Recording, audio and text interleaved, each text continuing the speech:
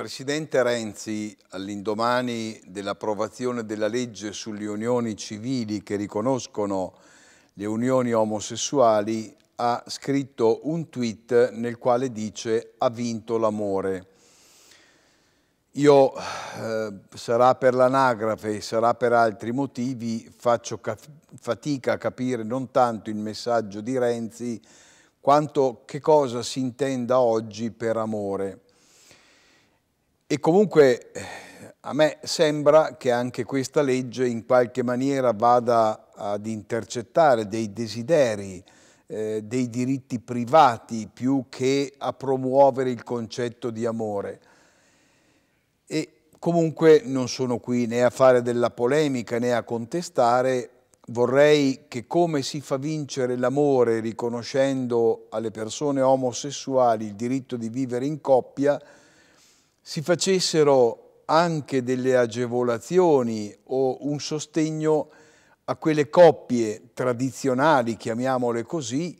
che forse oggi non vanno molto di moda, di cui non si parla molto, e sono quelle coppie eterosessuali che hanno sulle loro spalle una famiglia. Sappiamo quante difficoltà oggi per ragioni economiche, per ragioni sociali e culturali incontrino queste famiglie e quanto bisogno ci sarebbe di dar loro una mano. Purtroppo ho l'impressione che nella società ancora una volta si veda la famiglia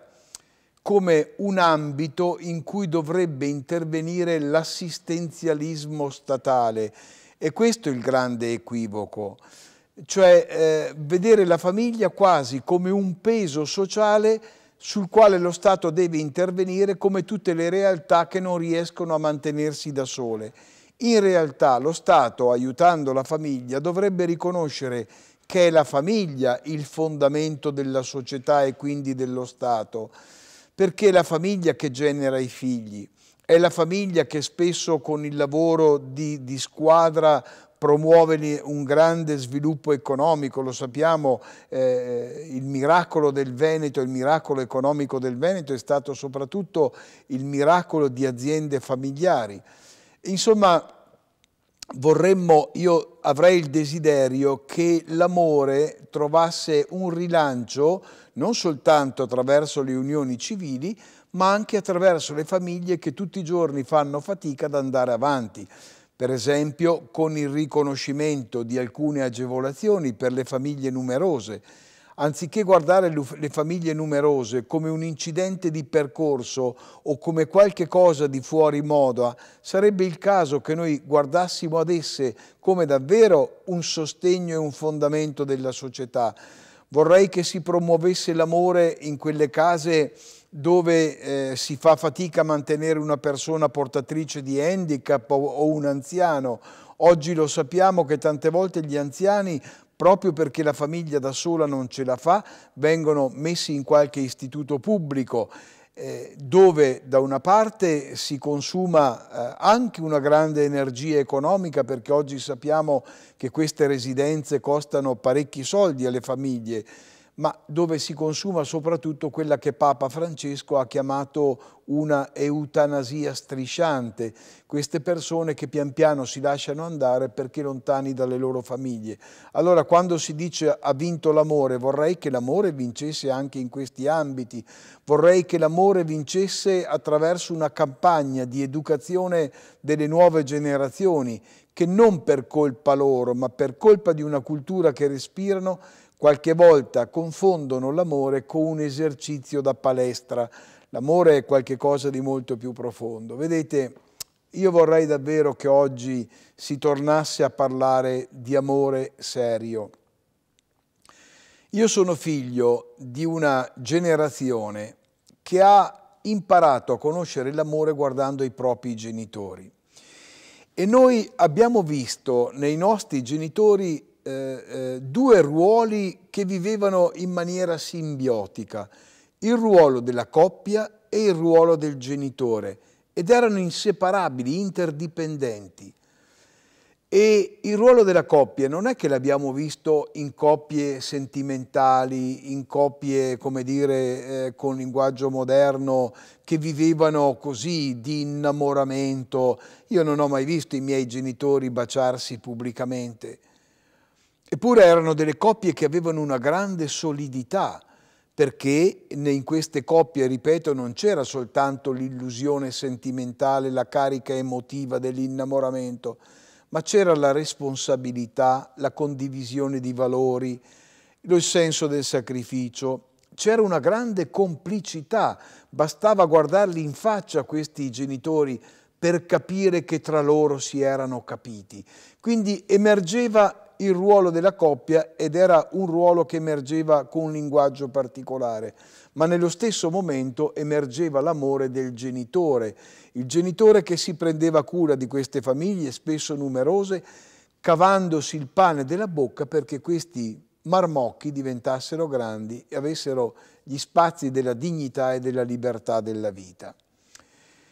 Ho l'impressione che in questi ultimi tempi siamo passati dalla cultura della responsabilità, della partecipazione, quella degli anni 70, quando anche Gaber no, cantava che diceva che l'importante è la partecipazione,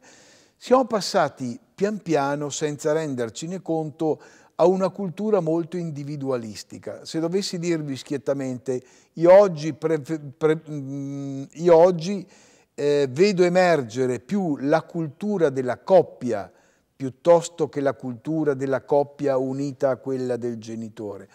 Eh, assistiamo a una grande separazione tra queste due realtà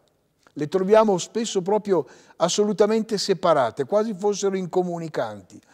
E noi sappiamo che il principio della coppia, se non stiamo attenti, eh, rischia di diventare un principio individualistico, perché se lo stare insieme viene dissociato dal principio della genitorialità, alla fine quello che cerca una coppia è quello di star bene con un partner e allora tu stai con un partner, eh, ci stai fin tanto che ti senti bene, fin tanto che quella che io chiamo l'illusione sentimentale dura, fin tanto quindi che il principio del piacere dà una risposta. E qui non è più vivere è cambiare adattandosi a quello che viene perché la coppia resista, ma qui è subentrato il principio cambiare per vivere cioè eh, eh, il gusto della novità, il gusto di un piacere che si rinnova continuamente cambiando coppia, prende il sopravvento e quindi assistiamo a, una, a un instaurarsi di una fragilità della coppia, per cui tante volte diciamo che l'inizio di una coppia segna drammaticamente anche l'inizio della sua fine però in questa mutazione continua per cui si cambia partner per rivivere quelle emozioni, per rivivere quelle illusioni sentimentali che non si trovano più con quello precedente.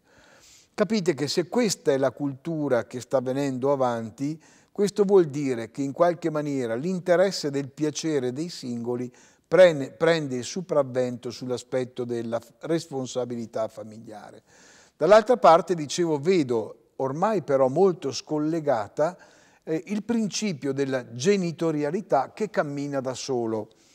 Eh, sto pensando per esempio a, a, tante persone, in modo particolare a tante signore, che pianificano la nascita di un figlio quando hanno in qualche maniera sistemato già la carriera e tante volte questo figlio viene fatto scadere in quella frontiera biologica anagrafica in cui eh, bisogna intervenire giusto al momento giusto perché si rischia di passare dal ruolo di mamma all'immagine di nonna, per dire insomma che il figlio lo si fa all'ultimo momento eh, nei tempi ancora utili per evitare che questo poi diventi la situazione di una nonna. Ecco, tutto questo ci dice allora che eh, anche la genitorialità non si esercita più all'interno di un discorso di coppia, ma si esercita come fatto culturale in sé, il diritto ad avere un figlio. E allora eh, si ha un figlio a qualsiasi età, allora si fa il figlio con la fecondazione eterologa, allora tutti gli espedienti diventano buoni per raggiungere l'obiettivo. Io credo, vedete, che oggi dobbiamo superare una sorta di ubriacatura culturale e credo che l'investimento dovrebbe avvenire proprio ricongiungendo la coppia con la genitorialità. Eh, ricongiungere la coppia alla genitorialità fa bene prima di tutto alla coppia, perché se la coppia si assume delle responsabilità, la coppia in qualche maniera è obbligata a tenere duro, a stare insieme e a vincere le difficoltà inevitabili che si, che si incontrano nella vita. Ma direi anche unire la genitorialità alla coppia per evitare lo scempio al quale stiamo assistendo in questi ultimi tempi. Vedete, vi dico e concludo, io ho sentito in questi ultimi tempi tante affermazioni da parte di tante donne nel difendere la dignità della donna, che la donna non torni ad essere una merce con il suo corpo.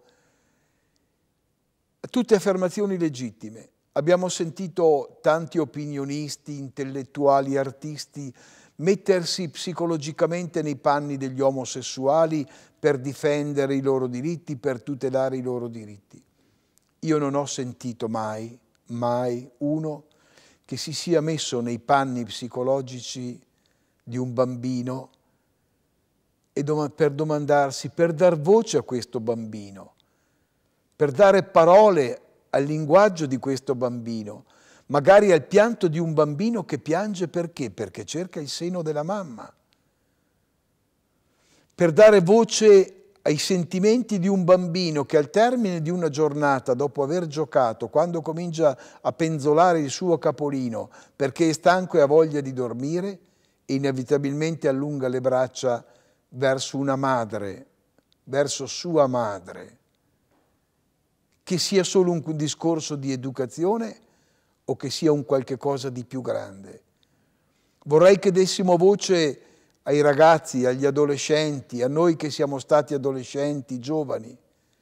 e che andavamo da nostra madre